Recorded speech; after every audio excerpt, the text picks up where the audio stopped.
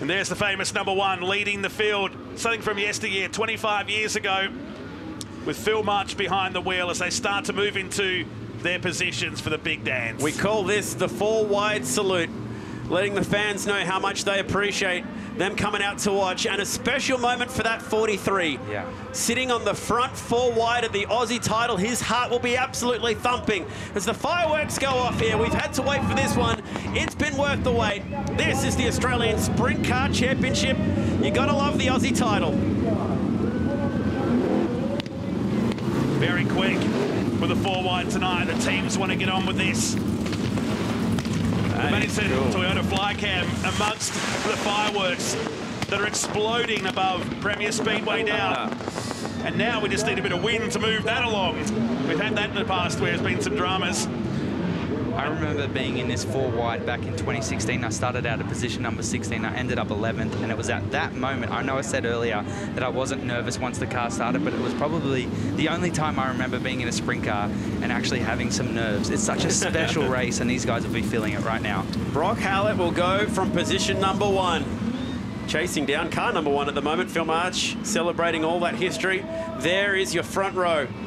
We haven't had a Victorian win the Aussie title in Victoria since 1972, Matt. the first time the Aussie title was held right here in Warrnambool. Graham McCubbin getting the job done.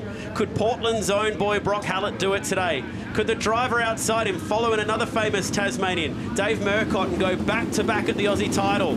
Behind him, Inglis, who haven't had a West Aussie win since 1993. Alex Orr's never even won a race, let alone an Aussie title. He starts outside row number two. Lights out. This is the title. Who's going to put their name on that trophy alongside Rush, Tatnell, Brazier, Dumesny, Farr? This is where heroes of the sport are made. This is the Aussie title. And it begins now at Premier Speedway. Hallett gets the jump into one over the Aussie champ. Oh, Alex Orr was, was awkward through turn one for the first time. He drops back into fourth position. James Inglis goes up into second as the cars trip their way around the track for the first of 40 laps in the Aussie title. Man, Alex Orr's car is just horribly tight. He cannot get that 43 to turn into the corner. Great start, Brock Hallett. 40 laps on the boards, and he's got a wicked start winning that race down to turn one. And the grip looks to be at the low part of the racetrack, just like you'd expect it at the beginning of a night, in the beginning of the heat races. But it's going to be a long one. Settle in, find your groove. Orr has just got that thing turning now. He's dropped down to sixth, but it's a nice start, this one, for Hallett. And Inglis setting sail in second. And already to the back of the field he comes. Brett Milburn is going to be the first car to go a lap down. Only four laps into this Australian title. And he'll need to get going here because James Inglis is going to claw that gap back in the Devil Race Cards Diamond Bay Motorsports car. The Aussie champ runs in third ahead of Field, McHugh, Alex Orr, Grant Anderson, Callum Williamson, Jordan Charge and Luke Dillon. Man, we are so quickly into the traffic tonight. There's one car between first and second. Brett Milburn's car making it through the B main tonight. Inglis is a little bit crooked coming out of turn two. The front tyres were bouncing down that back straight. He's under pressure from Goodyer. He's got him. Change for second.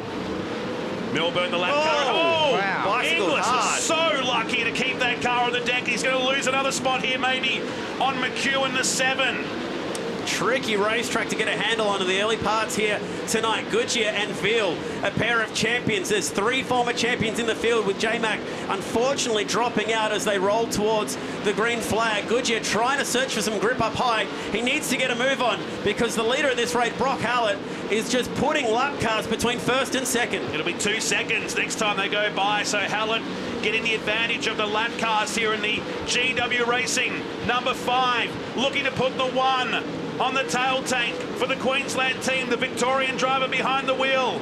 As we go down to another lap here, 30 remain. Just like that, we tick off 10 laps in the National Championship. Yeah, we're a quarter of the way through this one already. Now Goodyer's got a bit of a flow going. He goes to the back of Bricknell, who joined the race as a very lucky second reserve. He's cleared him, and now he's got nothing between him and the race leader. Goodyer is starting to oh, find his oh, groove. Wow. As soon as I say it, he just about flips that thing. Jeff Gordon, famous NASCAR driver, once said you can flip a sprint car quicker than you can sneeze, and he just about found that out in turn three.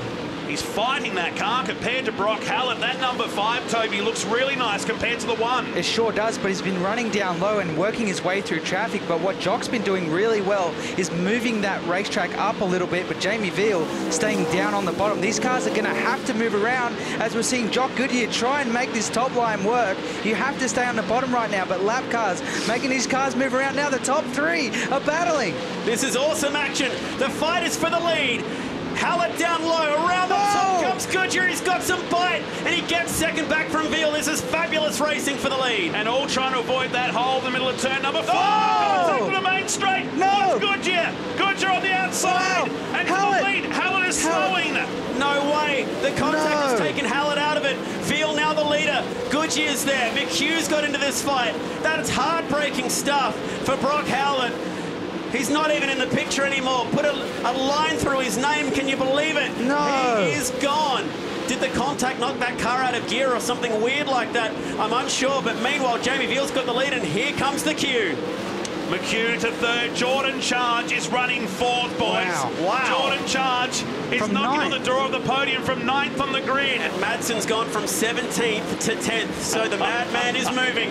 We're halfway home in the feature. We've stayed green the whole way. McHugh's got to second.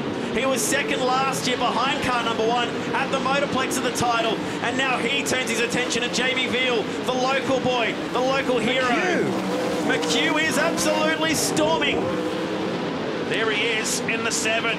The Monty Farms SWI 35 leads the Australian Championship with 17 laps to go here. A sea of traffic just ahead. It works out well for Jamie Veal. McHugh parks it on the bottom and goes past Quinn and Sam Walsh, and they stay together here. But so many more cars to be passed in this race with 16 remaining. Madsen up to ninth. Inglis has fallen back to seven. McHugh! gets balked, and now we've got a new race leader. Lockie McHugh from nowhere. Veal fights back. Dumesny gets sideways, and somehow McHugh avoids him.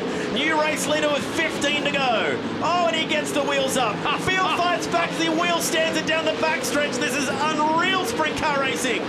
Up to Newton they go. Veal back to the lead, looking for his second Australian Championship. They're glued together on a track that's bouncy, it's hooky, it's unpredictable, it's insane to watch tonight at Warrnambool. These two just side by side. They're going to take this one down to the wire. This is Wicked Wings Racing as the fight for the lead is on again. McHugh working the bottom of the racetrack. They're approaching Cameron Waters as Veal lifts the front now. McHugh back to the lead in the NQ7. He slides to the inside of Cam Waters. He puts that lap car one spot back and he's got some forward momentum. He's got a lap car between he and second and he'll have 10 to go next time by. We've gone green flag through 30 laps of racing in the title tonight. McHugh is flying as Waters hooks the front up. So it's a breathing margin now for the seven down the back straight. McHugh daring to dream. Veal second, Goodyer third, and Charge is starting to close on the Australian champ. McHugh looks like he's hungry. He looks like he's going to go for gold here tonight. The SRV number seven has eight laps to go. Has Jamie Veal got something left in the tank? Man, Grant Anderson's got himself inside the top five as well. Jordan Charge still sitting there in fourth as McHugh works his way through the traffic. He's onto the back of Kerry Madsen now, so he's lapped all the way up to eighth as he continues to fly through this field, but the traffic is there behind Alex Orr as well. Can he get that momentum? Can he keep it going right now through the field? He's putting multiple lap cars between he and the chasing pack. This is an awesome drive so far from McHugh. Nick Speed, the tuner on that car, the crew chief, his heart will be thumping. So desperately craving an Australian championship. Oh, oh Madsen. Madsen half spins in front of the leader and loses the spot to Alex Orr. But McHugh leads this one with four laps to go. Four laps to go in the Aussie title as he works his way down the back straight, nearly 1.7 seconds. Veal is losing Oh. touch here. Alex Orr just hooked the curb hard right in front of Jamie Veal, who's trying to come on through. Inglis about to get lapped here as well. So last night's preliminary A-main winner is about to get lapped as McHugh is steaming that right rear tyre. This could just about go all the way to the checkered flag. Green flag running. McHugh gets to the inside of the 26. He's going to see a white flag next time by. Around he comes. The Queenslander sees the white flag. He won the Grand Annual Sprint Car Classic here in 2022 and is looking likely to add the Australian Championship to that mantle. McHugh wins in a thriller at Warrnambool. And he is your Australian Sprint Car Champion. He was Wow. second last year, oh. and he masters the tricky conditions of the bull tonight on a wild, hooky racetrack. McHugh gets the job done on a special night for he, a special night for Nick Speed. Man, they've been there before at the Classic. They've done it tonight at the title. Wait for big this result. Wait for this celebration when he clears the scales, and hopefully it's legit. The SRV Road Freight Services number seven, unofficially the champ at the moment from Veal. Goodyer. Jordan Charge finishes fourth with Anderson and James Inglis. Well done to this guy on screen as well. Lockie McHugh is about to get pushed off to celebrate. And this is something of a cool tradition that has formed in the last few years. Tim Kaeding burning this place down 10 years ago at the Classic. And hold on, because this could be big on a hooked up race track. He might enjoy this more than the race. They told them at the driver's briefing, you've got to do your donuts on the grass. But he might just send it for a He's few about to laps do a, he's about to do a 10 second lap. He, he, he comes a nine. yeah. do a lap record ah. after the checkered flag. Here we go. They're going to eat this up at Warrnambool tonight. This will be good. Time to burn it down to the ball.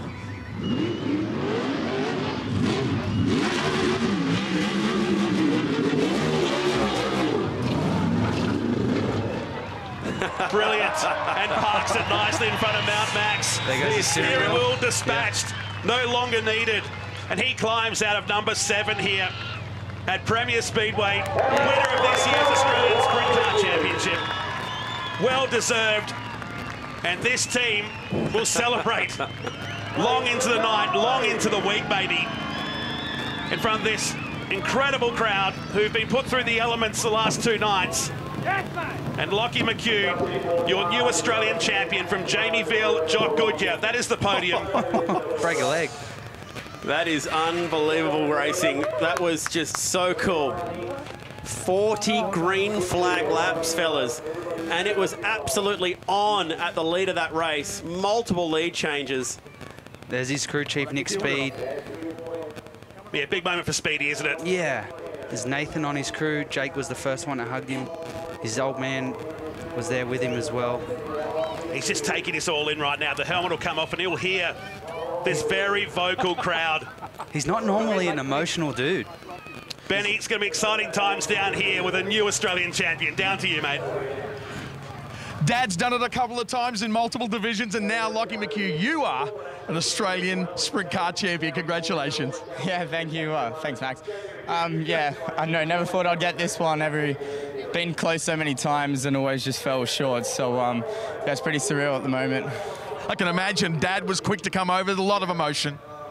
Yeah, for sure. Thanks. Jock Goodyer comes in, they're great mates, and that's cool to see that. Yeah, no, it's. Um, I'm sure if anyone, uh, Jock would want to win, anyone's me. So um, cool to get it off him and um, and carry around the one for a year myself. Absolutely, mate. Congratulations again. Enjoy the celebrations. Thank you. Oh, Nick Speed, congratulations. Your first Australian Sprint Car Championship as a crew chief. You and I have been around this a long time. I cannot believe this is your first one. And what a cracker race at that. Yeah, finally, a um, couple of classics. Um, started the front row of a lot of Australian titles, have been high points, and that first heat's killed us. Um, said tonight we can win this out of six, no dramas at all. And you seen what he just did there, he wheeled the shit out of that thing. And that Garrett motor was just eating up this cold air. It was beautiful. What did you think when he got to the lead? Were you confident that he could hang on to it? Yeah, he's really, he's always exceptional in traffic. So, yeah, I had, very, I had a heap of confidence in him there. And you got through them like cars pretty good. And Veely got caught behind him. It was just a matter of not making a mistake, and he, he didn't make a mistake all race. Congratulations, another one to add to the trophy cabinet. Good job. Thanks.